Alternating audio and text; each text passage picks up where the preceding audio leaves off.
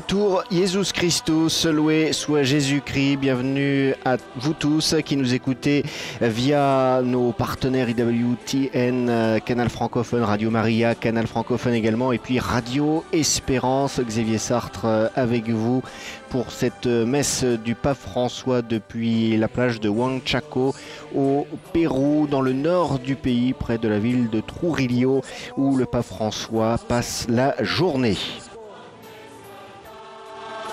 Bienvenue donc à vous tous qui nous écoutez via Vatican Media. Vous pouvez bien sûr nous suivre via le site internet vaticannews.va sur la page YouTube francophone de Vatican News pour suivre donc cette euh, première messe de la journée, cette seule messe de la journée pour le pape François, ce premier grand événement de la journée pour lui, après avoir passé déjà toute une journée hier au Pérou, seconde grande étape de son voyage en Amérique latine qu'il a porté en début de semaine au Chili.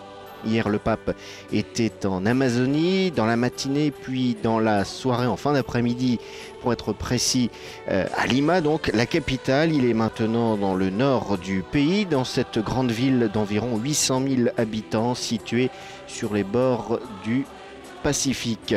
Il est à peu près 9h47 euh, pour être précis sur place, 15h47 ici à Rome. Euh, d'où nous suivons cet événement. Le pape a déjà fait son entrée. Il va maintenant encenser l'autel depuis lequel il va célébrer cette Eucharistie. Une messe tout en espagnol, bien évidemment. Dans cette ville qui a connu et qui est encore marquée par euh, des inondations qui ont causé plusieurs morts l'année dernière. Des inondations dues à des pluies torrentielles qui ont touché le pays, des pluies provoquées par le phénomène climatique El Niño dont on entend régulièrement parler, et ce depuis plusieurs années. Ce réchauffement euh, des, des eaux du Pacifique qui provoque, en tout cas sur la côte pacifique de l'Amérique latine, des pluies le plus souvent violentes et qui provoquent donc des inondations. Le pape d'ailleurs, après cette messe, se rendra dans un des quartiers qui a été le plus touché, quartier qui porte le nom de sa ville, Buenos Aires, Buenos Aires. Ce sera l'occasion pour le pape François de se présenter et d'apporter son réconfort aux populations qui encore, pour certaines, n'ont pas pu penser toutes les plaies causées par ces intempéries.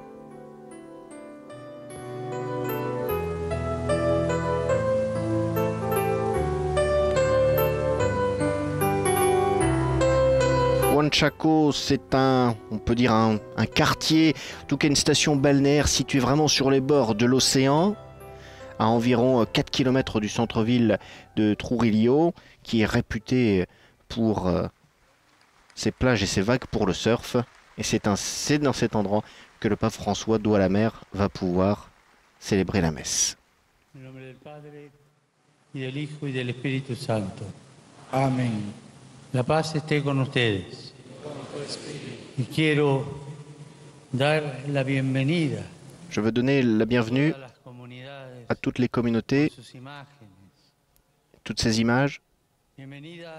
Bienvenue a la Inmaculada Virgen de la Puerta de Otsuco. Notre pape qui salue toutes les communautés qui sont venues de différentes parties du nord du Pérou. Al Señor cautivo de Ayabaca, a la Virgen de las Mercedes de Paita, reliquias de los mártires de Chimbote, el divino niño del milagro de Eten, la Virgen Dolorosa de Cajamarca, San Jorge de Cajamarca, a la Virgen de la Asunción de Cutervo, la Inmaculada Concepción de Chota, Nuestra Señora de Altagracia de Huamachuco, San Francisco de Asís de Huamachuco, Santo Toribio de Mogrovejo de Chababamba, Huamachuco, la Virgen Asunta de Chachapoyas, San Pedro de Chimbote, San Pedro de Huari, a la Virgen del Socorro de Huanchaco. Y al apóstol Santiago de Chuco. Voilà toutes les communautés qui viennent de l'ensemble du nord du pays qui se sont rassemblées pour assister à cette, à cette messe ici à Huanchaco. Jesús el justo intercede por nosotros. Voilà l'acte pénitentiel.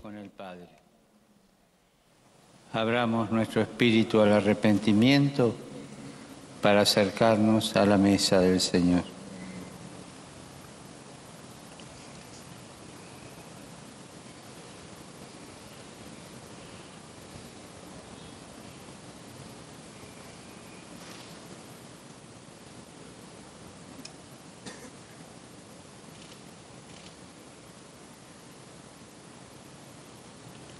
Tú que eres la plenitud de la verdad y de la gracia, Señor, ten piedad.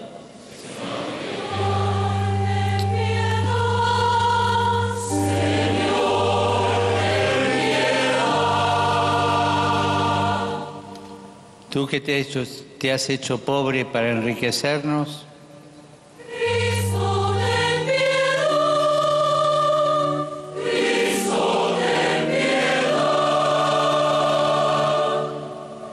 tú que has venido para hacer de nosotros tu pueblo santo,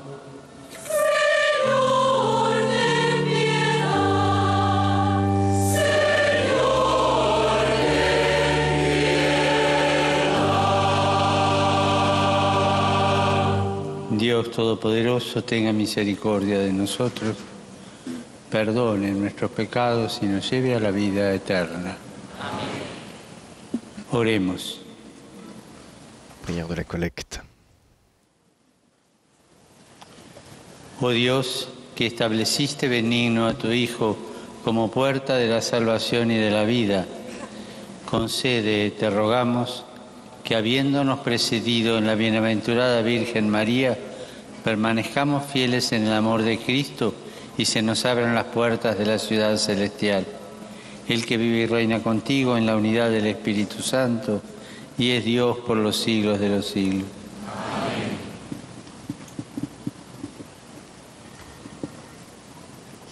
On va commencer maintenant la liturgie de la parole avec la première lecture tirée du livre de l'Apocalypse, chapitre 21, verset 1 à 5a.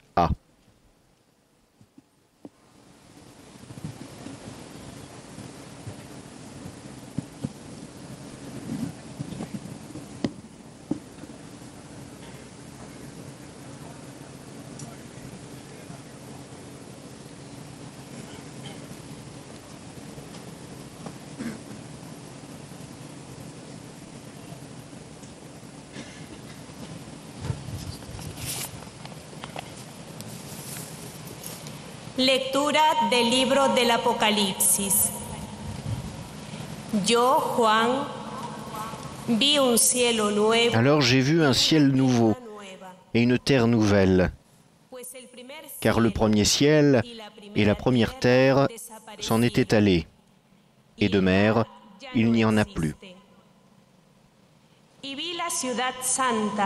Et la ville sainte, la Jérusalem nouvelle, je l'ai vue qui descendait du ciel, d'auprès de Dieu, prête pour les noces, comme une épouse que pour son mari. Et j'entendis une voix forte qui venait du trône. Elle disait, Voici la demeure de Dieu avec les hommes. Il demeurera avec eux, et ils seront ses peuples, et lui-même Dieu avec eux sera leur Dieu.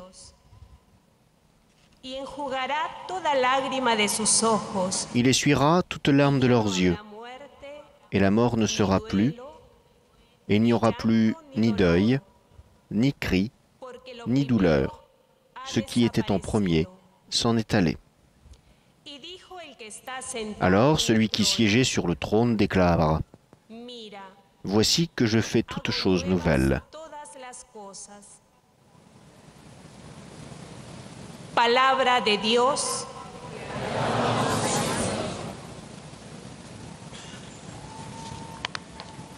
Voilà la première lecture tirée de l'Apocalypse de Saint Jean.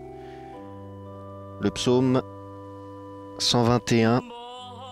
Quelle joie quand on m'a dit, nous irons à la maison du Seigneur. Maintenant notre marche prend fin devant tes portes, Jérusalem. Jérusalem, te voici dans tes murs, ville où tout ensemble ne fait qu'un. C'est là que montent les tribus, les tribus du Seigneur, là qu'Israël doit rendre grâce au nom du Seigneur. À cause de mes frères et de mes proches, je dirai, paix sur toi, à cause de la maison du Seigneur notre Dieu, je désire ton bien.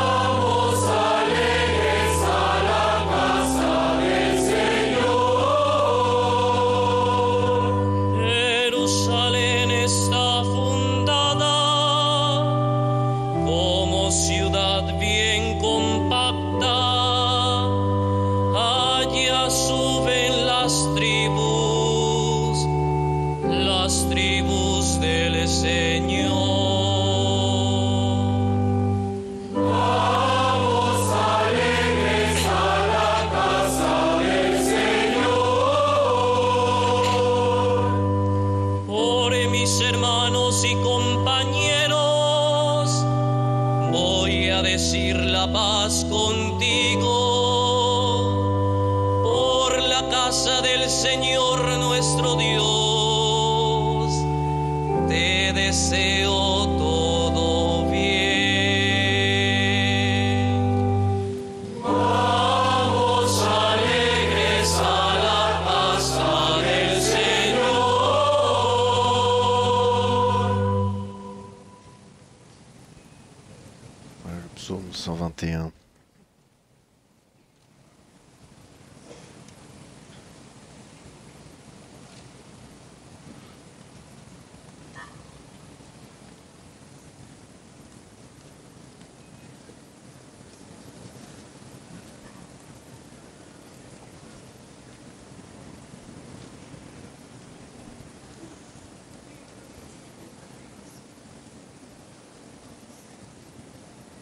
pied de l'autel, pour ceux qui ont l'image bien évidemment, vous avez pu apercevoir des pirogues typiques de la région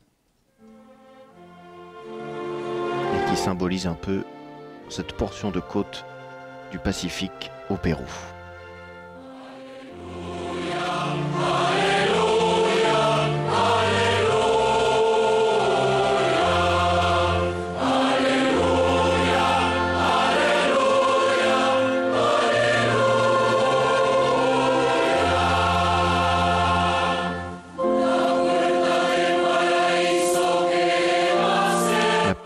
Paradis qu'Ève a fermée a été ouverte pour toi, Vierge Marie.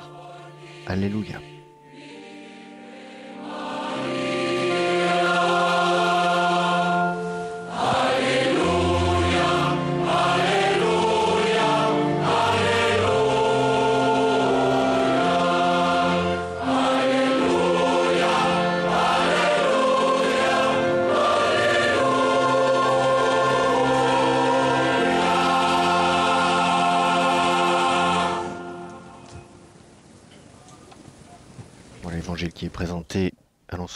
De Dieu. L'évangile d'aujourd'hui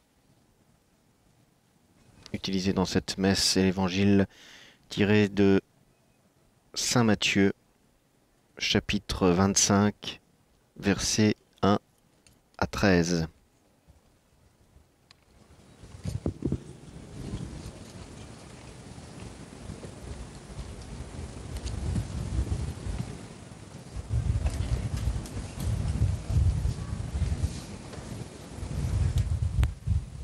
El Señor esté con ustedes.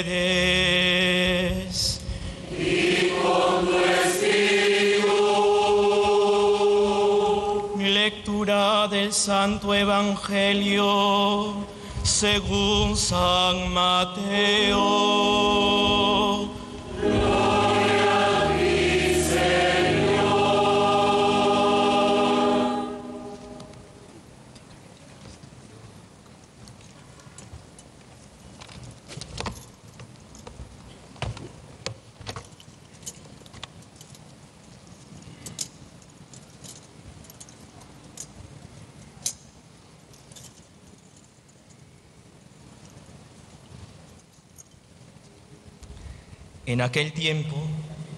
Alors, le royaume des cieux sera comparable à dix jeunes filles invitées à des noces, qui prirent leurs lampes pour sortir à la rencontre de l'époux.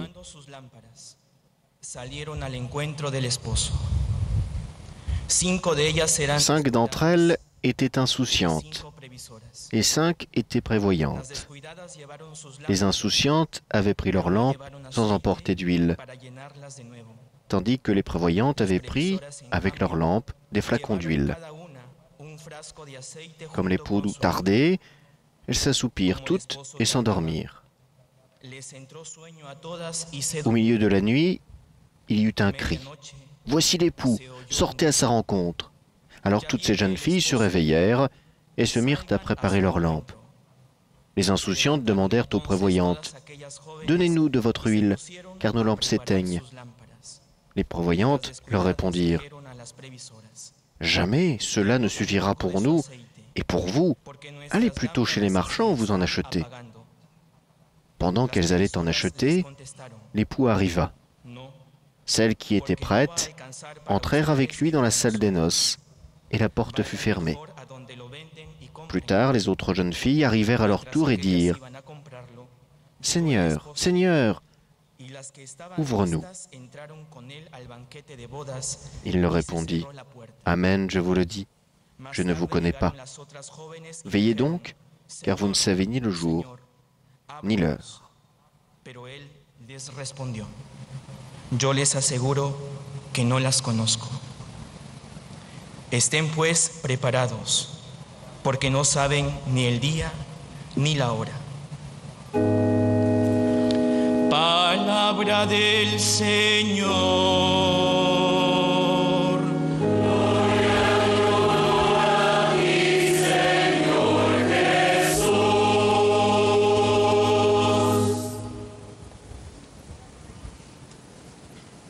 C'était l'évangile selon saint Matthieu, chapitre 25, versets 1 à 13.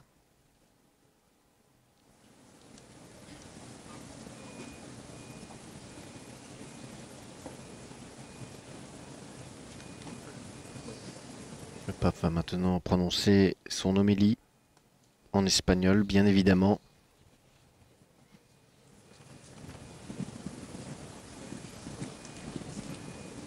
Retenez bien ces embarcations, ces caballitos de Totora, comme on les appelle ici.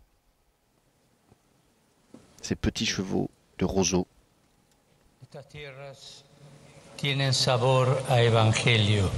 Cette terre a un goût d'évangile. Entorno que nos rodea. Tout l'environnement avec cette immense mer en arrière-fond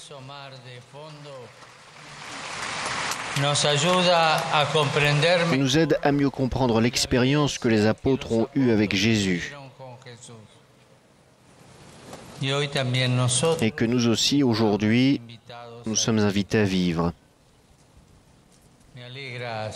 Je me réjouis de savoir que vous êtes venus de différents endroits du nord du Pérou pour célébrer cette joie de l'Évangile.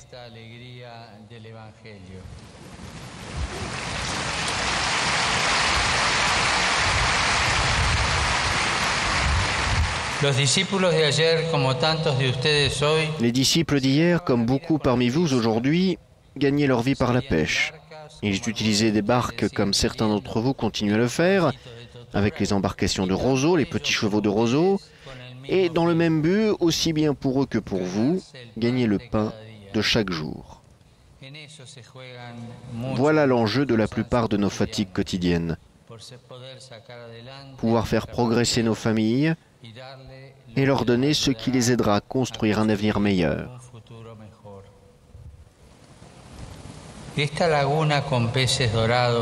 Cette lagune aux poissons dorés, comme on a voulu l'appeler, a été une source de vie et de bénédiction pour de nombreuses générations. Elle a su nourrir les rêves et les espérances au fil du temps. Vous, comme les apôtres, vous connaissez la violence de la nature et vous avez subi ces coups. Tout comme eux ont affronté la tempête sur la mer, vous avez été frappés par le terrible coup du phénomène El Niño de la côte, dont les conséquences douloureuses durent encore dans de nombreuses familles, en particulier dans les familles qui n'ont toujours pas pu reconstruire leur maison.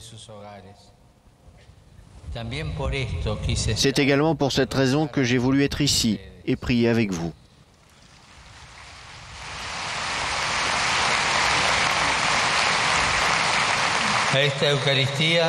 Dans cette Eucharistie, nous nous souvenons également de ce moment si difficile qui interpelle et bien des fois fait douter notre foi. Nous voulons nous unir à Jésus. Il connaît la souffrance et les épreuves. Il a traversé toutes les souffrances pour pouvoir nous accompagner dans les nôtres. Jésus sur la croix veut être proche de chaque situation douloureuse pour nous donner la main et nous aider à nous relever.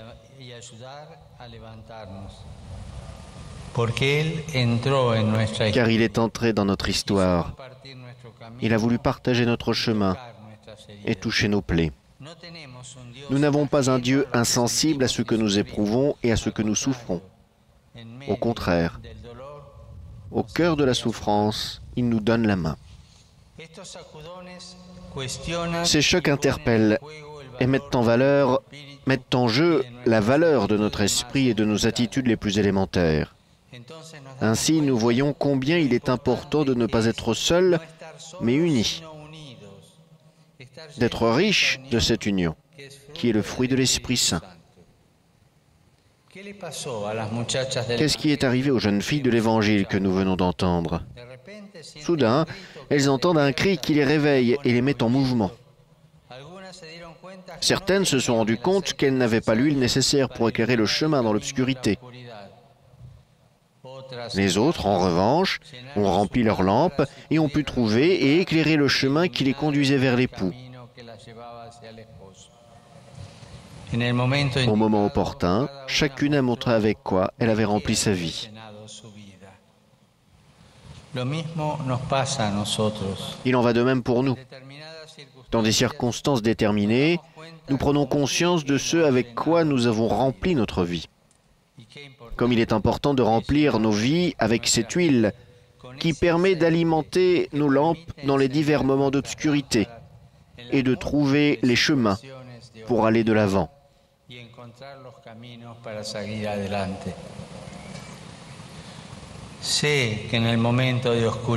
Je sais que dans l'obscurité, quand elles ont subi le choc du Niño, ces populations ont su se mettre en mouvement.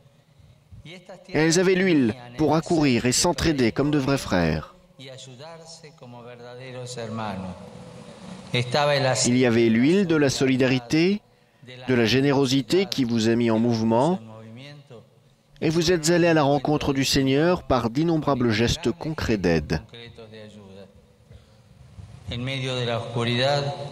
En pleine obscurité, avec beaucoup d'autres, vous avez été des cierges vivants qui ont éclairé le chemin grâce à des mains ouvertes et disponibles pour atténuer la souffrance et partager ce que vous aviez dans leur pauvreté.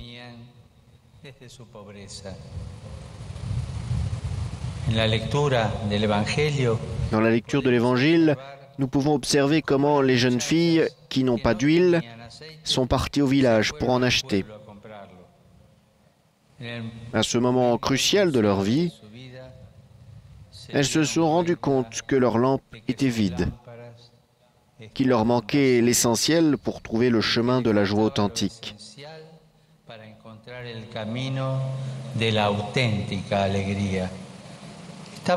Elles étaient seules, et ainsi elles ont été privées de la fête.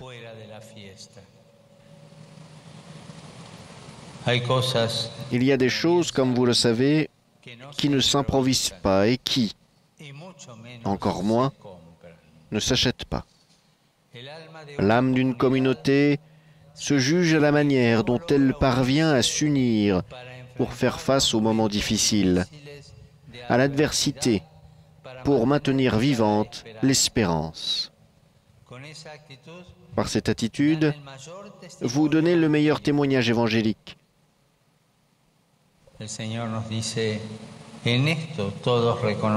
nous dit, à ceux-ci tous reconnaîtront que vous êtes mes disciples si vous avez de l'amour les uns pour les autres.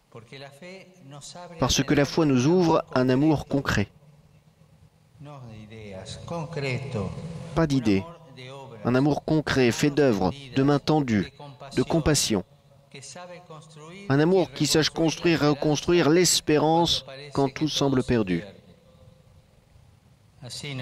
Ainsi nous devenons participants de l'action divine, telle que nous la présente l'apôtre Jean, quand il nous montre que Dieu essuie les larmes de ses enfants.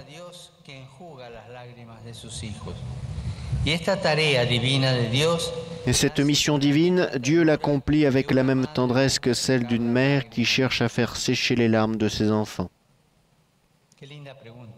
Quelle belle question nous posera le Seigneur.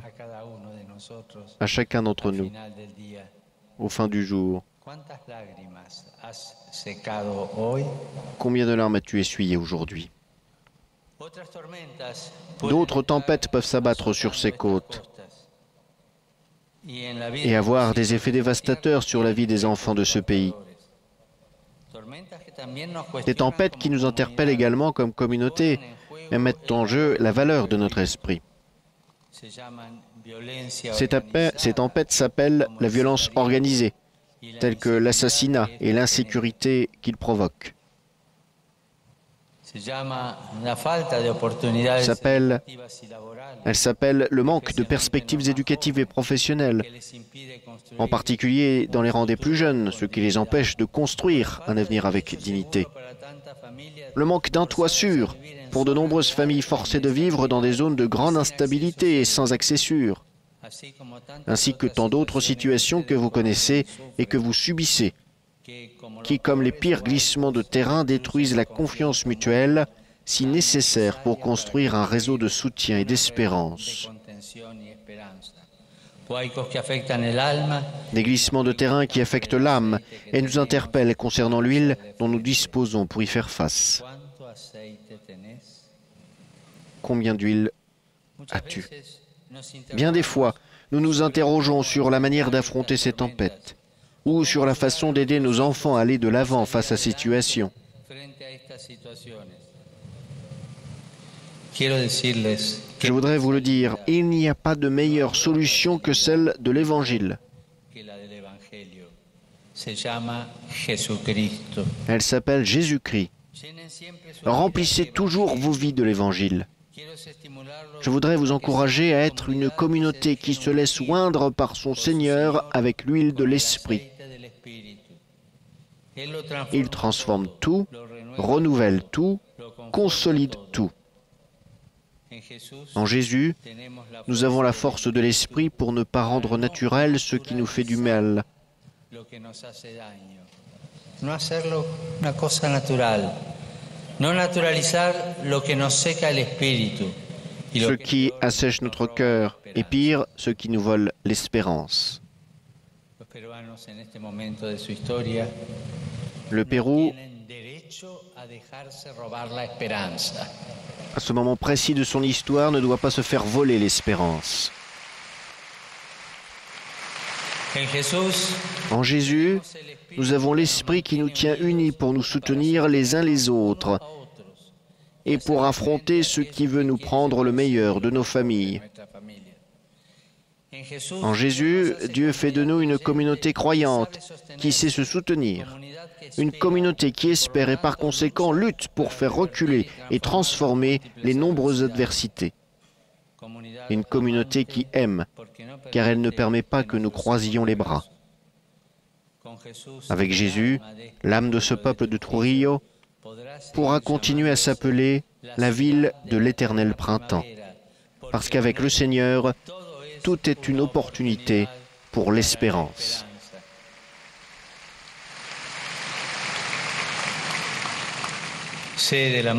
Je connais l'amour que ce pays a pour la Vierge et je sais combien la dévotion à Marie vous soutient toujours en vous conduisant jusqu'à Jésus.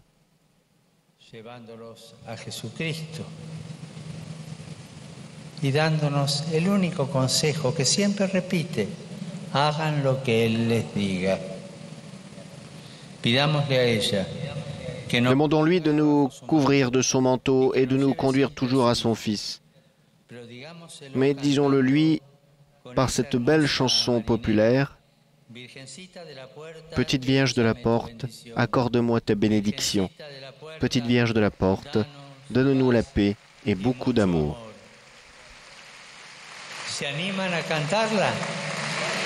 Vous voulez la chanter? Alors on la chante ensemble.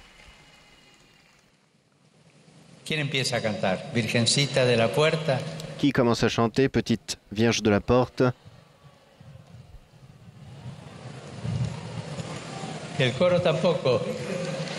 Le cœur également.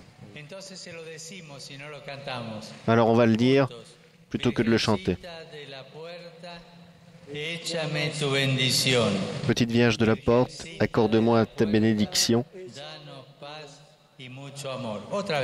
Petite Vierge de la Porte, donne-nous la paix et beaucoup d'amour. Une autre fois. Virgencita de la Puerta, danos paz y mucho amor.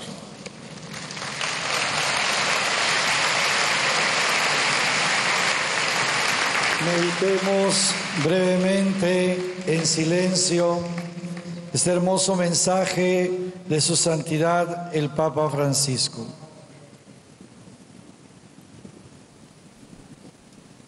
L'Assemblée, après cette homélie, est invitée à rester quelques instants en prière et en silence pour méditer ces paroles du pape François, l'ensemble de la population du nord du Pérou, venue des quatre coins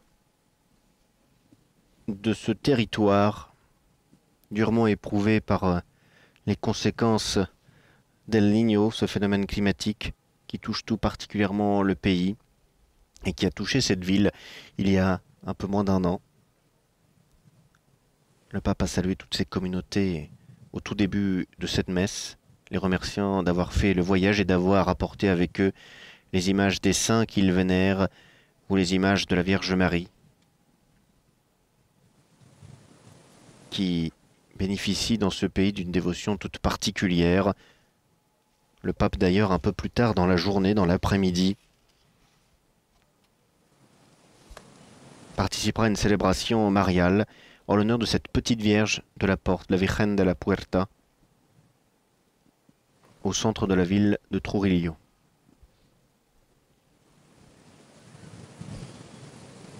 dont l'image est installée à côté de l'autel.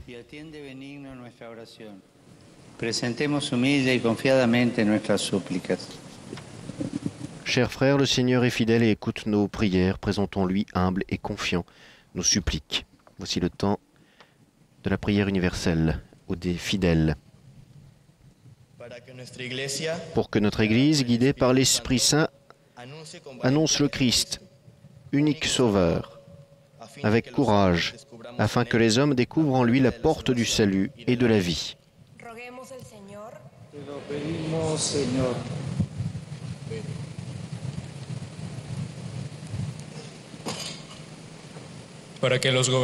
Pour les gouvernants, en cherchant toujours le bien commun, qu'ils s'occupent des besoins de base de tous, spécialement de nos frères les moins favorisés.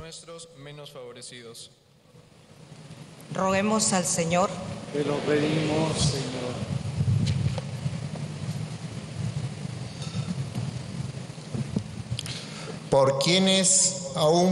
Pour tous ceux qui souffrent dans des circonstances différentes, spécialement pour ceux qui paient encore les conséquences des pluies et des inondations, pour qu'ils puissent dépasser l'adversité en ravivant leur espoir et en recevant de l'aide dans la charité fraternelle.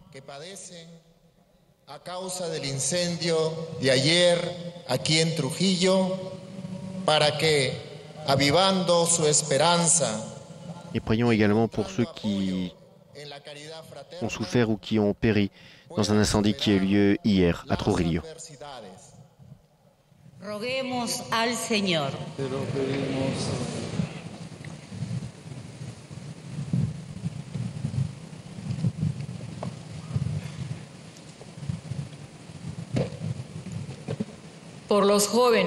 Pour les jeunes pour qu'en suivant le modèle de la jeune de Nazareth, il cherche et réalise la volonté divine et s'efforce de vivre dans la pureté et la charité.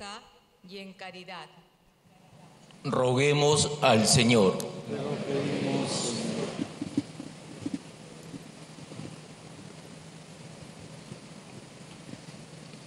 Pour ceux qui sont réunis en cette assemblée eucharistique, pour que, ayant confiance dans l'intercession de la Vierge Marie, nous vivions avec elle, fidèles à la volonté de Dieu, faisant des efforts pour l'unité et l'amour. Roguemos al Señor.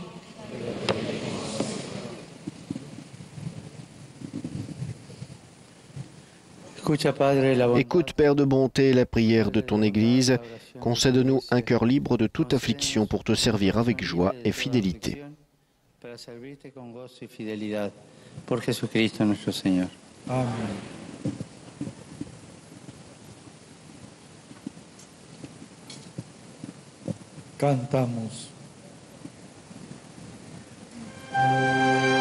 Voilà le chant de l'offertoire qui marque le début de la liturgie eucharistique ici, à Huanchaco, le long de l'océan Pacifique, à quelques kilomètres à peine du centre-ville de Trujillo, où le pape François passe cette deuxième journée au Pérou.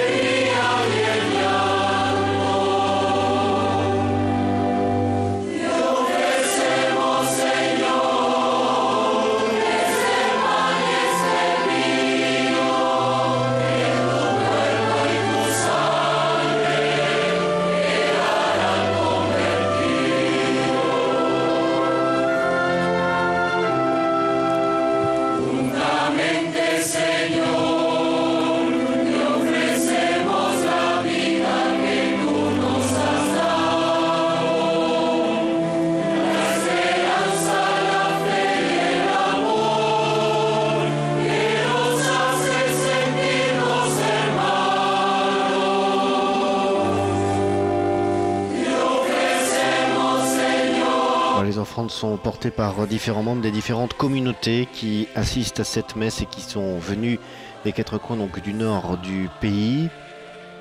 Des communautés qui ont porté une quarantaine d'images de saints, de la Vierge ou du Christ. Des images comme celles que vous avez pu voir il y a quelques instants à l'antenne pour celles et ceux qui nous suivent à la télé. Images caractéristiques du Pérou et plus généralement de l'Amérique latine, où les représentations de saints, de la Vierge ou du Christ sont fréquentes, des représentations souvent très réalistes, toujours décorées, toujours habillées.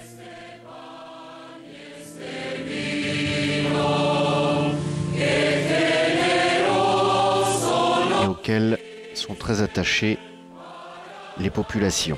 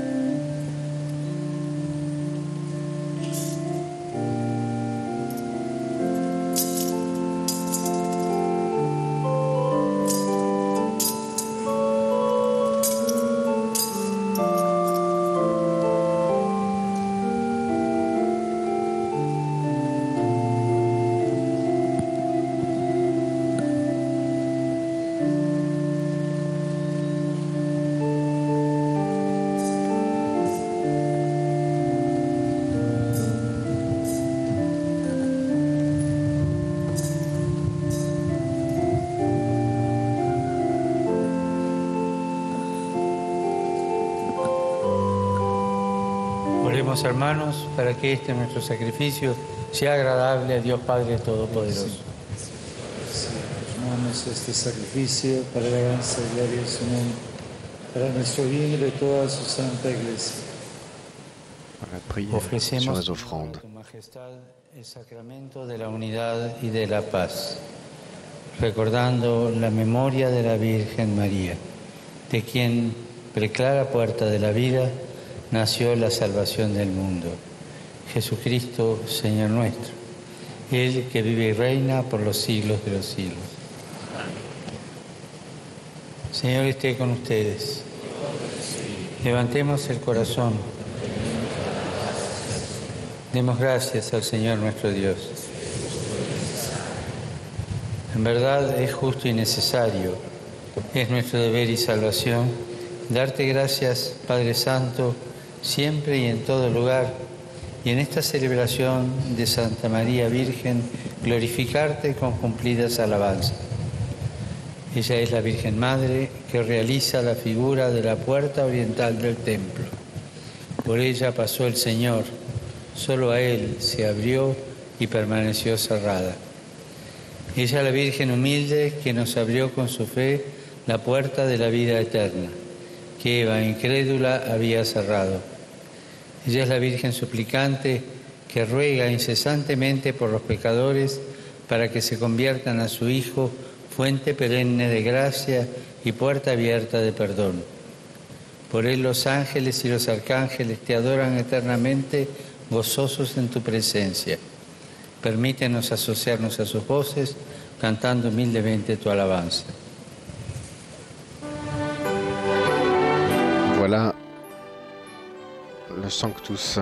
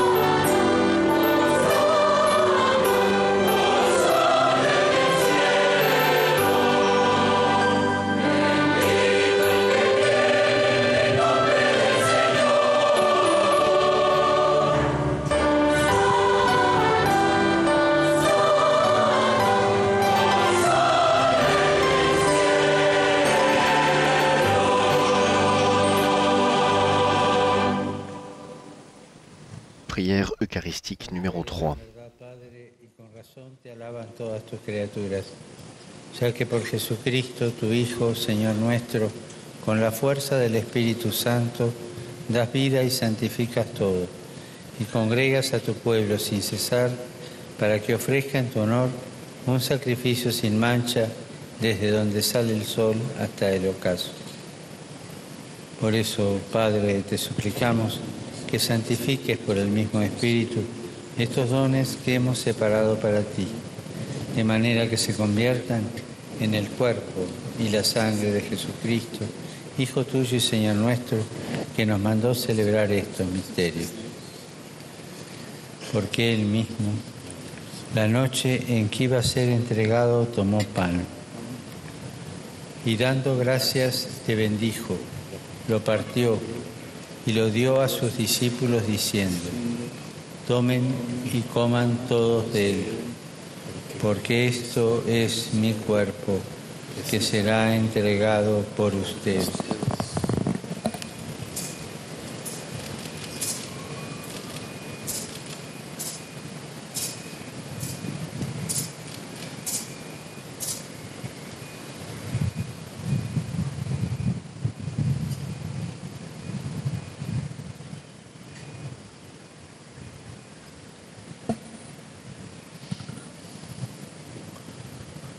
Del mismo modo, acabada la cena, tomó el cáliz.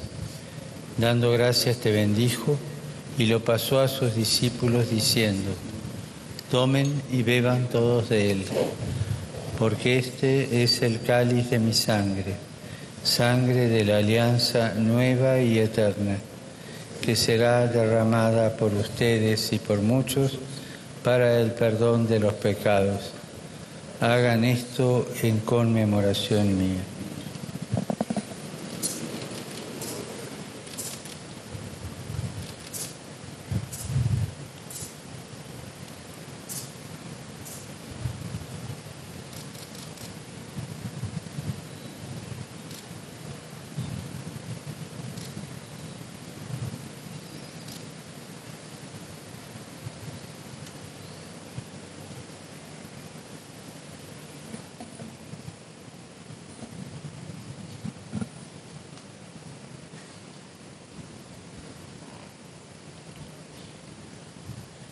Este es el misterio de la fe.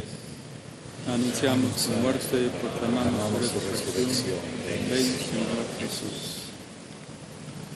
Así pues, Padre, al celebrar ahora el memorial de la pasión salvadora de tu Hijo, de su admirable resurrección y ascensión al cielo, mientras esperamos su venida gloriosa, te ofrecemos en esta acción de gracias el sacrificio vivo y santo. Dirige tu mirada sobre la ofrenda de tu iglesia. Reconoce en ella a la víctima por cuya inmolación quisiste devolvernos tu amistad, para que fortalecidos con el cuerpo y la sangre de tu Hijo y llenos de su Espíritu Santo, formemos en Cristo un solo cuerpo y un solo espíritu. Que Él nos transforme en ofrenda permanente para que gocemos de tu heredad junto con tus elegidos, con María la Virgen, Madre de Dios, su esposo San José, los apóstoles y los mártires, y todos los santos por cuya intercesión confiamos obtener siempre tu ayuda. Te pedimos, Padre, que esta víctima de reconciliación traiga la paz y la salvación al mundo entero. Confirma en la fe y en la caridad a tu iglesia, peregrina en la tierra, a tu servidor, el Papa Francisco, a mi hermano Miguel, obispo de esta iglesia de Trujillo, a mí, indigno siervo tuyo, al orden episcopal, a los presbíteros y diáconos, y a todo el pueblo redimido por ti. Atiende los deseos y súplicas de esta familia que has congregado en tu presencia. Reúne en torno a ti, Padre misericordioso, a todos tus hijos dispersos por el mundo, a nuestros hermanos difuntos y a cuantos murieron en tu amistad. Recíbelos en tu reino, donde esperamos gozar todos juntos de la plenitud eterna de tu gloria. Por Cristo Señor nuestro por quien concedes al mundo todos los bienes.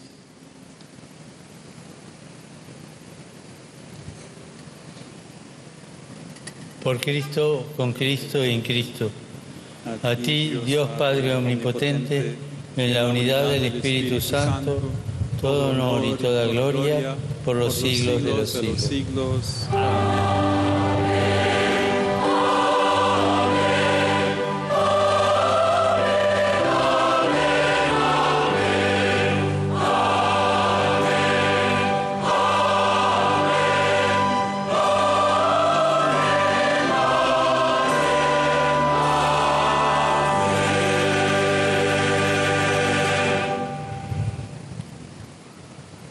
Antes de participar en el banquete de la Eucaristía, signo de reconciliación y vínculo de unión fraterna, oremos juntos como el Señor nos ha enseñado.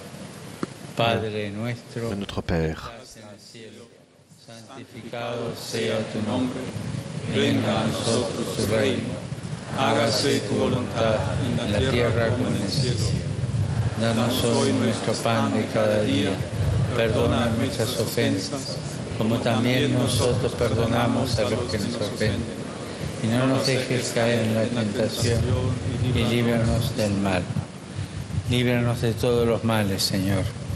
Concédenos la paz en nuestros días, para que, ayudados por tu misericordia, vivamos siempre libres de pecado y protegidos de toda perturbación, mientras esperamos la gloriosa venida de nuestro Salvador Jesucristo. Tuyo el reino, tuyo el poder y la gloria. Señor Jesucristo, que dijiste a tus apóstoles, la paz les dejo, mi paz les doy. No tengas en cuenta nuestros pecados, sino la fe de tu iglesia. Conforme a tu palabra, concédele la paz y la unidad. Tú que vives y reinas por los siglos de los siglos. Amén. Que la paz del Señor esté con ustedes. Y con tu espíritu. En el Espíritu de Cristo resucitado, dense fraternalmente la paz. Le diacre qui appelle à s'échanger un geste de paix.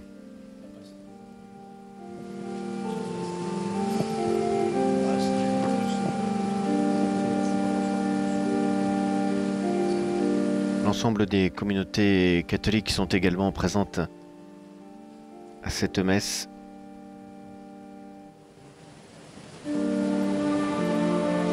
Catholiques de rite romain, mais également de rite oriental.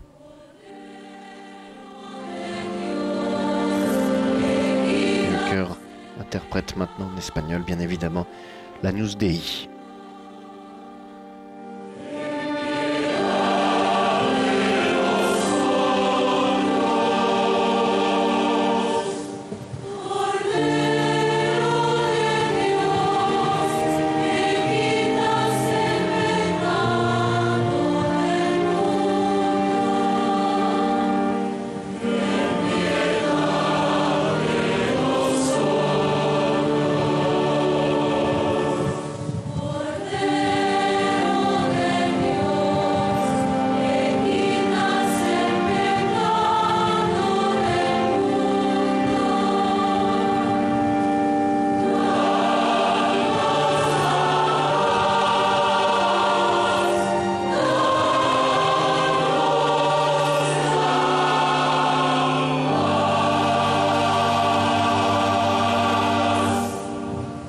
Es el Cordero de Dios que quita el pecado del mundo. Dichosos los invitados a la cena del Señor. Señor, no soy digno en mi casa, pero palabra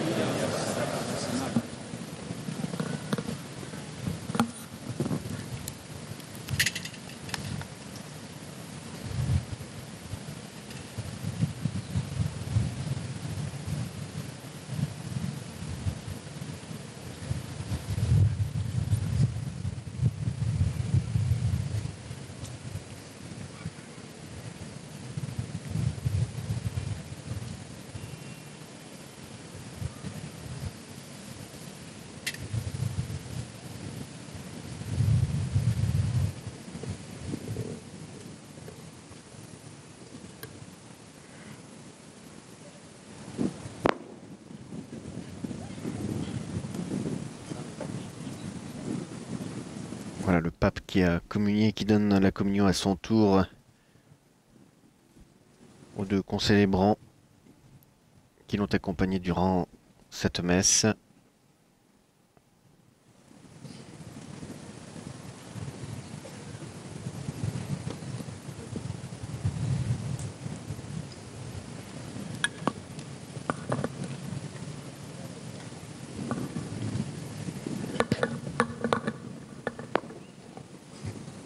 Fidèles vont maintenant pouvoir communier à leur tour. Ils sont environ 200 000 présents sur le site même.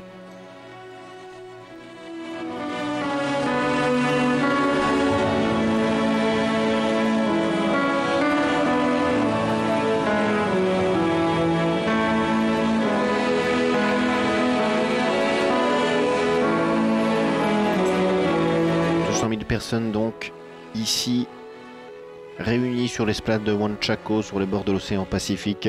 Environ 10 000 personnes sont également réunies dans les rues adjacentes qui mènent à ce site.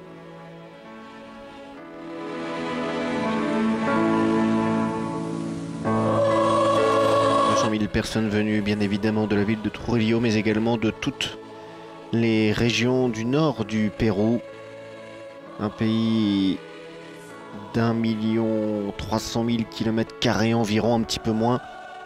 Immense pays parcouru du nord au sud par la cordillère des Andes.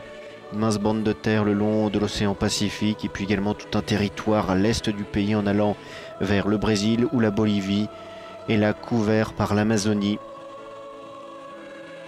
où le pape François s'est rendu hier pour aller à la rencontre des peuples et des tribus de la forêt amazonienne et également de l'ensemble des populations qui vivent notamment à Puerto Madevo où le pape a passé la journée d'hier.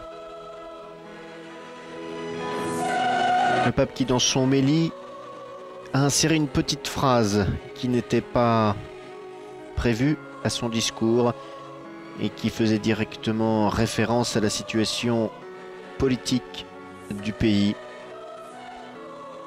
Situation politique assez particulière puisque le président Kuczynski qui a accueilli le pape à son arrivée jeudi soir à Lima qu'il l'a reçu hier après-midi au palais présidentiel, a échappé à une mesure de destitution de la part du Parlement. Le président est vivement contesté par l'opposition, bien évidemment. C'est le jeu politique, mais également par une grande partie de la population pour avoir accordé une grâce à l'ancien président Alberto Fujimori, qui était en prison, condamné pour corruption et pour crimes contre l'humanité pour les actes commis durant sa présidence entre 1990 et 2000. Le pape a exhorté le pays à ne pas se faire voler son espérance. C'est un cri qu'il pousse assez souvent. Il avait d'ailleurs, lors de rencontres avec les jeunes, un peu partout, quatre coins du monde, dans les pays qu'il a visités depuis le début de son pontificat, le pape François a souvent invité la jeunesse principalement à ne pas se laisser voler l'espérance et son avenir. Là, il a étendu cet exhorte à l'ensemble de la population du Pérou, qui vit donc une période assez délicate de son histoire récente. Le pape, dans son homélie, est revenu bien évidemment sur l'évangile du jour, celle de ces jeunes filles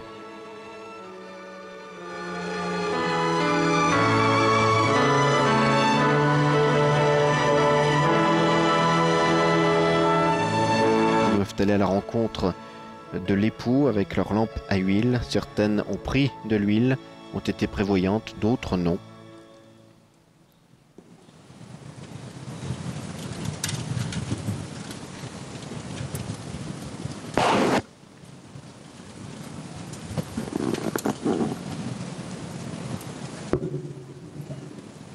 Le s'est appuyé sur cet extrait pour rappeler que l'âme d'une communauté se juge à la manière dont elle parvient à s'unir pour faire face aux moments difficiles, à l'adversité, pour maintenir vivante l'espérance. Le pape a ainsi fait référence bien évidemment à ce qu'avait connu Trujillo et sa population récemment. Le terrible coup du phénomène El Niño dont les conséquences douloureuses durent encore dans de nombreuses familles, en particulier dans les familles qui n'ont toujours pas pu reconstruire leur maison. C'est d'ailleurs l'une des raisons pour lesquelles il a voulu être présent ici, aujourd'hui, dans le nord du Pérou, pour aller à la rencontre de ces populations éprouvées. Le pape a rappelé ainsi que malgré toutes les épreuves, les tempêtes, les chocs que nous pouvons subir, eh bien Dieu ne nous abandonne pas nous n'avons pas un Dieu insensible à ce que nous éprouvons, à ce que nous souffrons. Au contraire, a expliqué François, au cœur de la souffrance, il nous donne la main.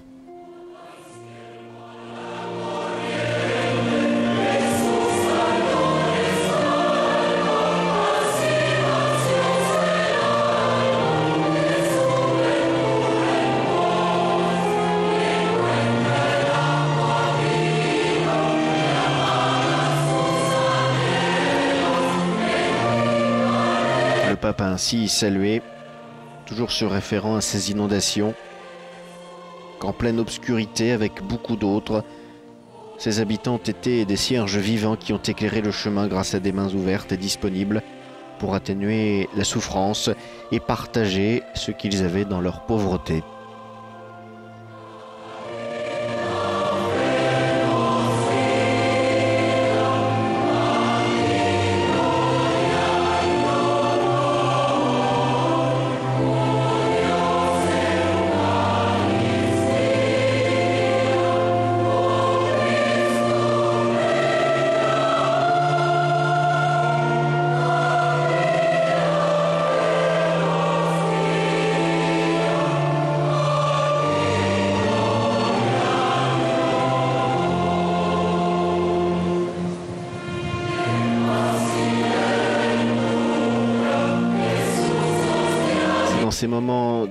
Délicats, dramatiques, tragiques parfois, par cette attitude d'entraide notamment, que chacun donne le meilleur témoignage évangélique qui soit, parce que la foi, a expliqué François dans son homélie, nous ouvre un amour concret, fait d'œuvres, pas simplement d'idées théoriques, mais bien un amour concret, de main tendue, de compassion, un amour qui sait construire et reconstruire l'espérance quand tout semble perdu.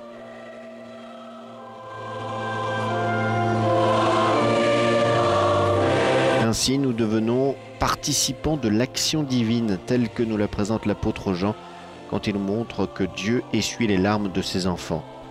Et cette mission divine, Dieu l'accomplit avec la même tendresse que celle d'une mère qui cherche à faire sécher les larmes de ses enfants. Quelle belle question nous posera ainsi le Seigneur. Combien de larmes as-tu essuyé aujourd'hui a demandé le pape François, insistant sur ce point précis.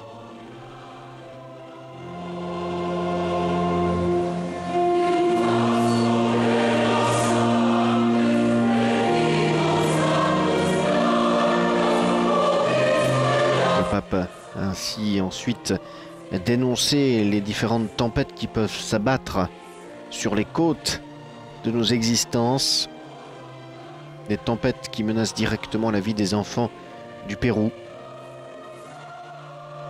la violence organisée, telle que l'assassinat et l'insécurité qu'il provoque, le manque de perspectives éducatives et professionnelles, en particulier dans les rangs des plus jeunes, ce qui les empêche de construire un avenir avec dignité, le manque d'un toit sûr pour de nombreuses familles forcées de vivre dans des zones de grande instabilité et sans accès sûr, ainsi que tant d'autres situations que les Péruviens connaissent au jour le jour.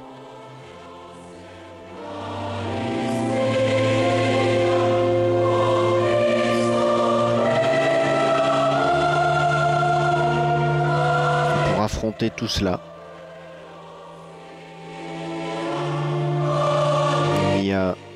pas d'autre moyen, il n'y a pas de meilleure solution que celle de l'Évangile. Cette solution, c'est Jésus-Christ. Remplissez donc toujours vos vies de l'Évangile, a exhorté le pape François dans son homélie. Voilà, le temps de la communion est terminé. Le pape se recueille quelques instants en prière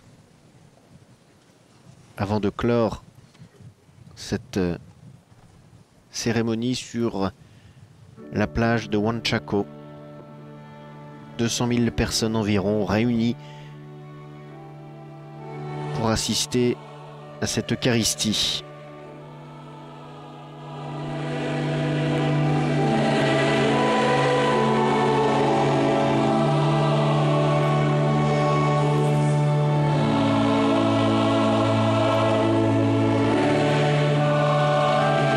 Face à l'immensité de l'océan Pacifique qui borde tout le, pays.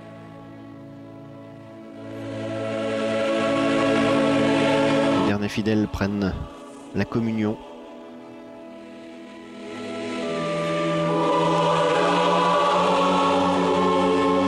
En attendant que tous communient, j'en profite pour saluer de nouveau toutes celles et ceux qui nous suivent via nos partenaires IWTN, Canal Francophone, Radio Maria, ainsi que Radio Espérance, puis toutes celles et ceux bien évidemment qui nous suivent via euh, Vatican euh, Media. Vous pouvez nous suivre via notre site internet vaticannews.va ou sur notre page YouTube.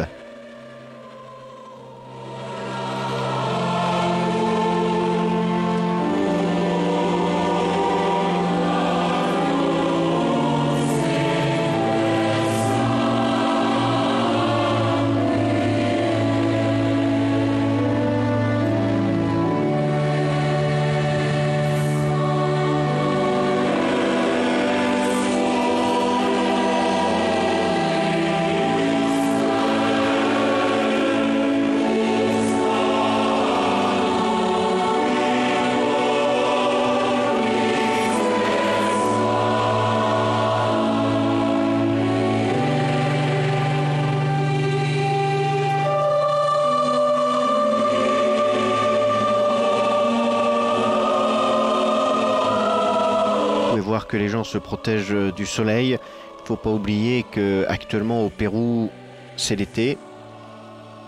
On est dans l'hémisphère sud. La ville de Trujillo, malgré cela, est appelée la ville de l'éternel printemps à cause de la douceur de son climat, ce qui ne l'empêche pas donc d'être touché par de fortes pluies. Justement, cette période de l'année, le pape a donc de la chance d'avoir ce très beau temps. Il est actuellement 10h54 à Trujillo, au Pérou.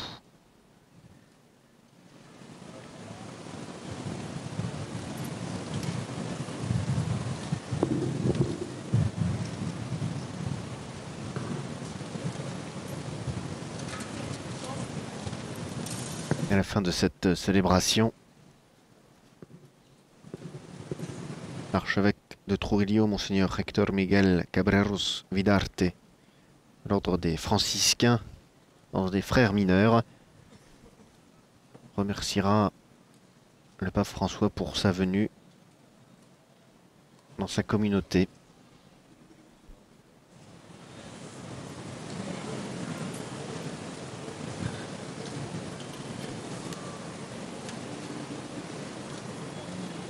Une journée spécialement dédiée à la Vierge Marie et tout particulièrement à la petite Vierge de la porte, la porte du ciel, à qui la population de Trujillo et des environs voit un culte tout particulier. Ce sera notamment l'objet d'un dernier rendez-vous que le pape aura sur place aujourd'hui, à l'occasion de cette deuxième journée passée au Pérou.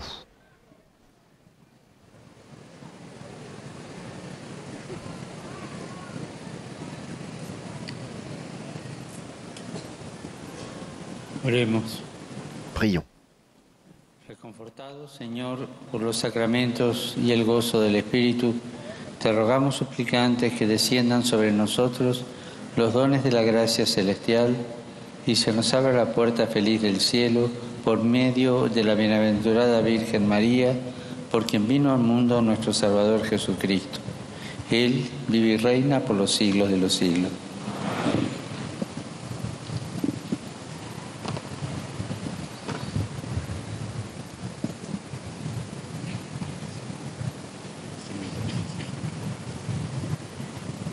L'archevêque de Trujillo va maintenant prendre la parole et adresser un message de remerciement au pape François, Monseigneur Trujillo.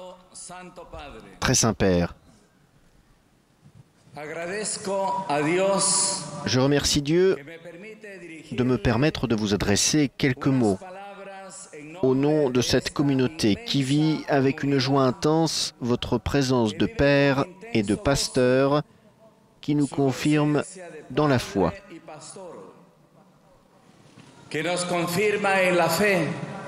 Qui nous renouvelle, qui renouvelle notre joie d'être des disciples du Christ et nous pousse à vivre avec un plus grand engagement notre responsabilité missionnaire.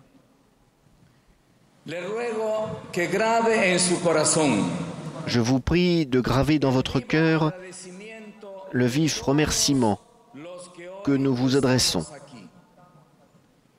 Nous tous qui sommes réunis ici aujourd'hui, venus de tous les villages et juridictions ecclésiastiques du Nord.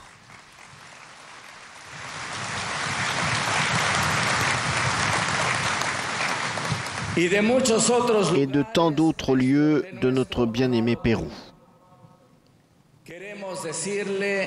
Nous voulons vous dire merci beaucoup, cher Père.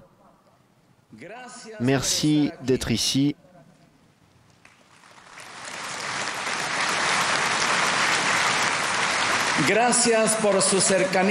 Merci pour votre proximité, pour votre préoccupation envers les terribles moments vécus à cause d'El Niño.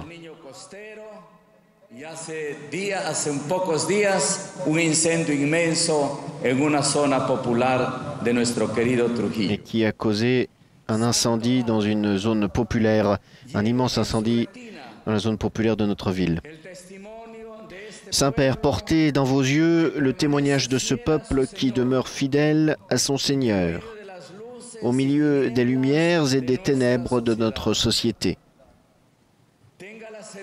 Ayez l'assurance qu'au milieu d'elle brille aujourd'hui comme hier dans notre histoire une profonde spiritualité centrée sur Jésus-Christ, sur sa présence eucharistique, sur un tendre amour à notre Sainte Mère, sur une profonde confiance en nos saints. Nous voulons devant vous renouveler notre fidélité envers le Christ, son Église, son magistère, incarné aujourd'hui dans la très belle homélie que vous nous avez offerte, et toujours opter pour les derniers, pour ceux que la société jette et élimine. Nous voulons être fidèles au thème avec lequel nous vous avons reçu, unis dans l'espérance, ce qui suppose de créer quotidiennement les motifs concrets d'espérance et ainsi apprendre à être une Église pauvre pour les pauvres.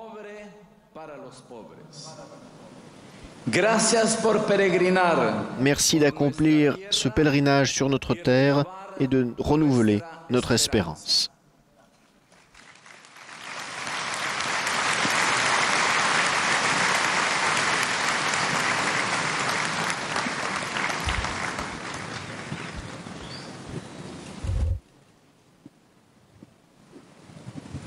Voilà l'archevêque de Trujillo, Monseigneur Miguel Cabreros Vidarte, archevêque de la ville depuis 1999, qui reçoit un cadeau de la part euh, du pape François après l'avoir remercié pour sa venue ici à Trujillo, qui était frappé par un immense incendie il y a quelques jours. Voilà le pape qui va maintenant clore cette messe.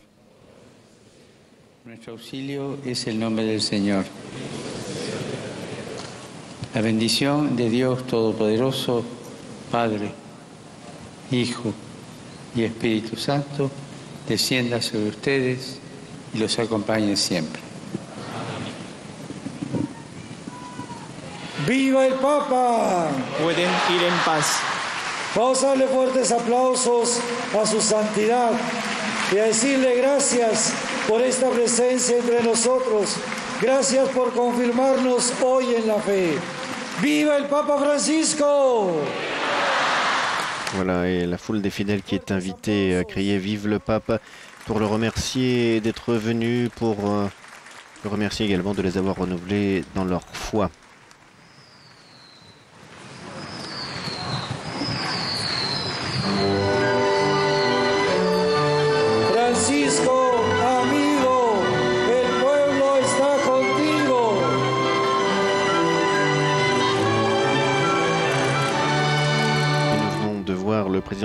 Accompagné de son épouse qui ont assisté à cette messe du pape François à Trujillo, dans le nord du Pérou, à l'occasion de la deuxième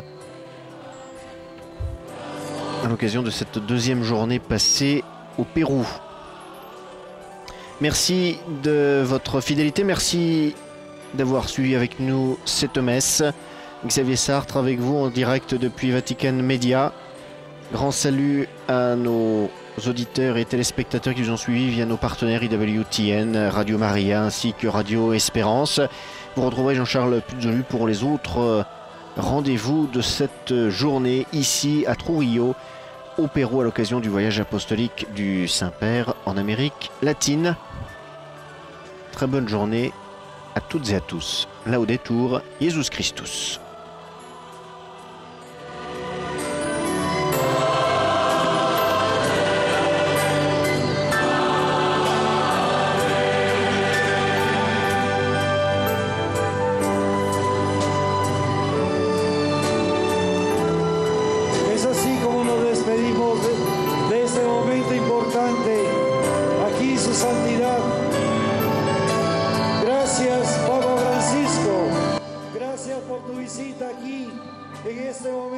Nos has dado Jesús Eucaristía. ¡Viva el Papa Francisco! Fuertes aplausos. Despidamos a su santidad.